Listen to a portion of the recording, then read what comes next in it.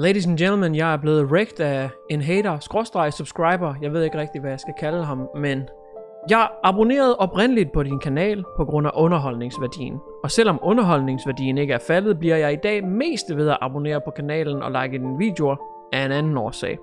Det ser efter min mening ud til, at du har en god næse for, hvordan man ikke skal investere, og det kan jeg lære af. Det er nok ikke med vilje, men du ser ud til at købe inden markedet falder, og sælge det inden det stiger. En klog investor sagde engang, at trenden er din ven, gå ikke imod den. Men alligevel begynder du at købe stort, tæt på toppen af et bear market rally, en bull trap. Selv jeg har ikke købt nogen aktier eller obligationer i år, og har i stedet det meste af min kapital placeret i råvarer. Det vil naturligvis ændre sig, når den langsigtede trend den vender igen et par ting. Først og fremmest tusind tak for det med underholdningsværdien, fordi selvom der ikke er mange, så er der andre danske finans-youtubere, og de er alle sammen mere dygtige end jeg er, men underholdningsværdien er noget, jeg kan konkurrere på, så tak for det. Jeg er stadigvæk meget tidligt i min investeringskarriere, og jeg har haft seriøse overvejelser flere gange om, om det bare skulle være det, og så slut. Men jeg har forsøgt at læse mere og mere materiale og opbygge selvtilliden om mod til, at det skulle ikke være det. Jeg skal prøve at være klogere og vise og ikke begå de samme fejltagelser, som jeg har gjort tidligere. Så jeg er stadigvæk i markedet, men jeg vil bare sige, at jeg er absolut ikke den mest erfarne. Det er helt korrekt. Men du siger, at jeg burde følge trenden, øh, men i stedet så har jeg købt op rigtig tæt på toppen af et bear market rally. Og der vil jeg bare gerne lige vedhæfte et par ting. For det første, så er det jo ikke sikkert, det er et bear market rally, fordi måske var bunden rent faktisk i juni. Vi lavede higher highs her, end vi gjorde hidtil, og hvem ved, hvis vi rent faktisk bouncer herfra, så var det juni, der var bunden. Måske skal vi ned og retest juni, men så var det stadigvæk bunden. Måske skal vi endnu længere ned i det her bear market. Måske var det et bear market rally, og måske ender hele verden med at gå under. Der er ikke nogen af os, der ved det. Men under alle omstændigheder, så begyndte jeg at investere cirka herfra og hele vejen herned. Og lige nu der er Nasdaq ned med 25-26%. Så jeg synes uanset det er et glimrende sted i hvert fald at starte. Jeg vil da i hvert fald hellere starte her, end jeg ville have startet, da det, det hed 1. januar. Og hvis jeg skal prøve at lære noget som helst fra jer og alle de kloge mennesker, jeg lytter til og læser om, er det så ikke time-markedet, at jeg venter indtil trenden den er vendt igen? Noget af det, jeg er blevet kritiseret allermest for, det er at være en market timer. Lige nu der prøver jeg at købe hele vejen ned af den her stejle, stejle bjergside, som vi er ved at falde ned af. Men i det mindste så venter jeg ikke til, at vi har nået et eller andet bund, fordi jeg aner ikke, hvornår den bund kommer. Men jeg er ganske tryg ved at købe, på vej nedad, fordi vi i forvejen er så meget i det røde, at over en 5-10 års tidshorisont, der regner jeg i hvert fald med, at markedet er højere, end det er nu. Og hvis jeg venter på, at tendensen den for alvor er vendt, og at vi får bekræftelse på, at der var en bund, og hvor den bund var, vil det så ikke allerede være for sent, og ville det så ikke have været bedre at købe hele vejen ned? Jeg synes dog, det er grineren, at du har skabt en slags øh, inverse Johnny Gade fantasifond i dit hoved. Lidt ligesom Kramer i det amerikanske med, at man skal gøre det modsatte af ham.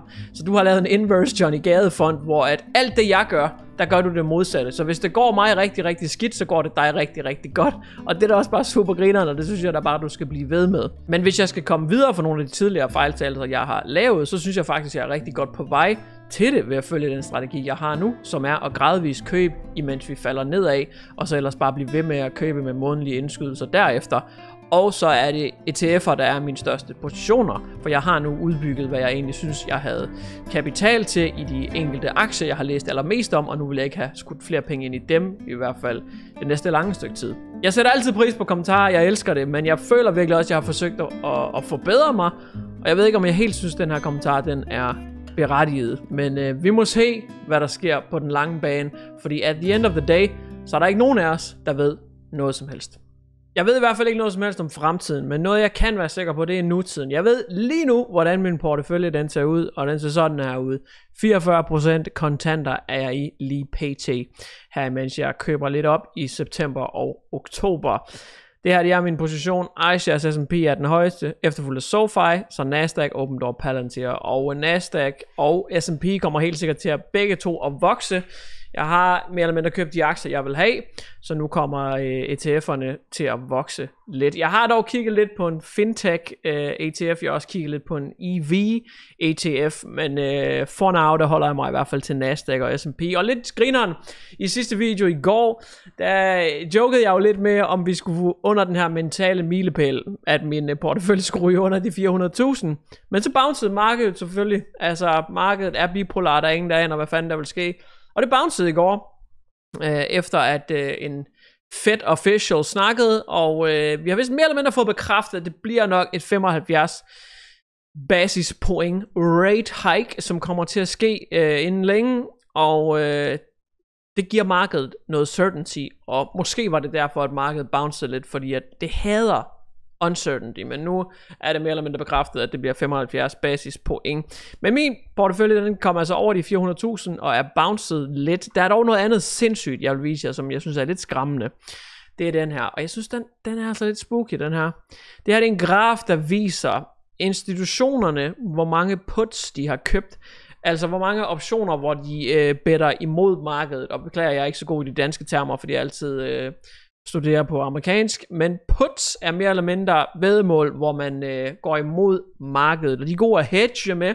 Simpelthen, hvis nu man er bange for, at der kommer et stort fald, så i stedet for at sælge ud af sine positioner, så køber man en hel masse puts. Sådan at hvis markedet falder, jamen, så kan det være, at det måske udjævner sig lidt mere, så det ikke gør så ondt, når markedet falder. Og prøv lige at se det her.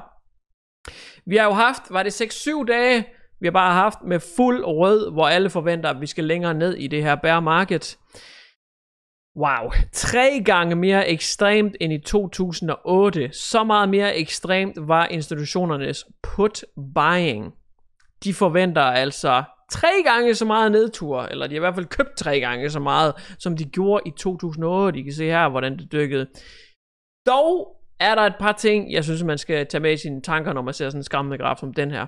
Jeg tror alle institutionerne, vi kommer til at crash nu, måske, det er tre gange så højt som i 2008, men i 2008 var der heller ikke rigtig nogen, der så crashet komme, hvilket i hvert fald er lidt det take, jeg har på det. Fordi ofte, så snakker man om, at de store crashes, var der næsten ikke nogen, der så komme. Historien viser, at de store crashes, dem var der ikke rigtig nogen, der så komme. Der er altid nogen selvfølgelig, som der er folk, der siger, der er crash hver dag, så på et eller andet tidspunkt skal de nok gætte det. Men ellers de store crashes, er der ikke rigtig nogen, der siger komme. Der er ikke rigtig nogen, der så tech-boblen, eller øh, finanskrisen i 8, eller corona og alt det der. Altså det var ting, der var svære at forudse, for langt de fleste i hvert fald. Men det her crash, det har nærmest alle kaldt. Så kommer det til at ske den her gang, måske. Men måske ikke, fordi at alle forventer det. Alle forventer det, og markedet har det med at gøre det modsat, synes jeg i hvert fald tit, og det er absolut ikke finansiel rådgivning. Men det er i hvert fald det ene take, jeg har på det. Så den her gang, der kan man måske se det komme, man tror i hvert fald, det kommer. Hvorimod i 8, der kunne de jo nærmest ikke nå at købe det, før at alt det bare var messed up. Så det er ligesom den ene ting. Et andet take, som jeg synes er lidt mere juicy dog, det er, at jeg læste også fra nogle af de, jeg tror det var Goldman Sachs og nogle andre store, der var involveret i et studie, hvor man kiggede lidt på porteføljerne og positionerne. Og det viste, meget interessant, at enkelte aktier, der var de begyndt at spille lidt mere offensiv bold. Det vil sige, at de var begyndt at gå lidt mere ind i enkelte aktier, fordi der er så mange af dem, der skraber bunden. Måske har de endda fundet en bund, hvem ved. Der er i hvert fald stadigvæk mange vækstaktier, som ikke har været lige så lave, som de var tilbage i juni, og faktisk holder bedre end selve indeksene gør. Så det er lidt spændende at se, om, om de her puts egentlig bare er for at hedge deres portefølje lidt mere, fordi de virkelig begyndt at gå ind i de mere spekulative vækstaktier, og så bliver de nødt til at købe nogle puts også, fordi de kan ikke være i, i så mange vækstaktier, hvis markedet falder, så bliver de nødt til at hedge lidt, og det er derfor, de køber mange puts, fordi de også er begyndt at købe mange vækstaktier.